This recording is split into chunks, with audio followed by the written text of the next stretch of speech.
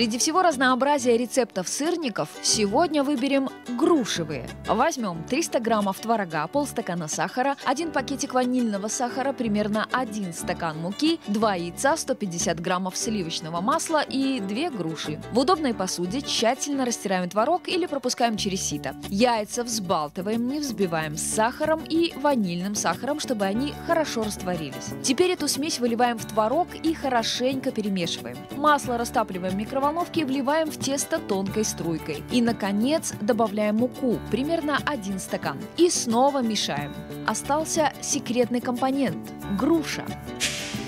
Груша – рекордсмен по многим показателям.